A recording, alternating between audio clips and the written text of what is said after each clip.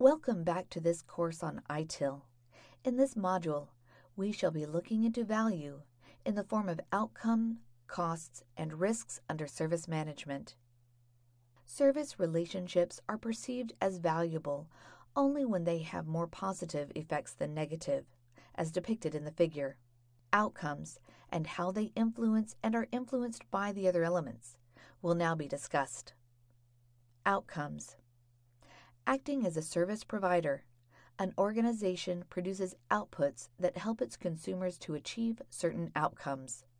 Output a tangible or intangible deliverable of an activity. Outcome a result for a stakeholder enabled by one or more outputs. The outcome of the service, however, is the preservation of memories and the ability of the couple and their family and friends to easily recall those memories by looking at the album. Depending on the relationship between the provider and the consumer, it can be difficult to the provider to fully understand the outcomes that the consumer wants to achieve.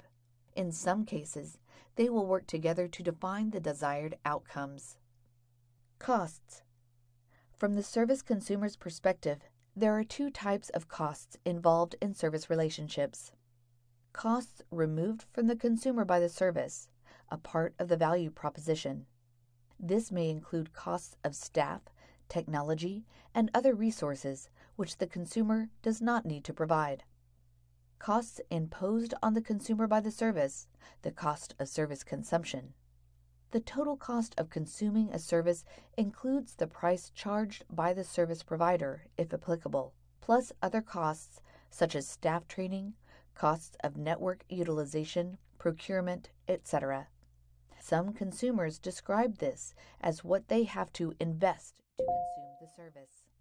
Risks A possible event that could cause harm or loss or make it difficult to achieve objectives. Can also be defined as uncertainty of outcome and can be used in the context of measuring the probability of positive outcomes as well as negative outcomes. As with costs, there are two types of risks that are of concern to service consumers. Risks removed from a consumer by the service, part of the value proposition. This may include failure of the consumer's server hardware or lack of staff availability. Risks imposed on a consumer by the service. Risks of service consumption.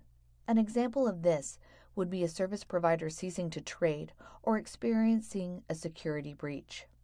Utility and warranty is the last concept in this chapter.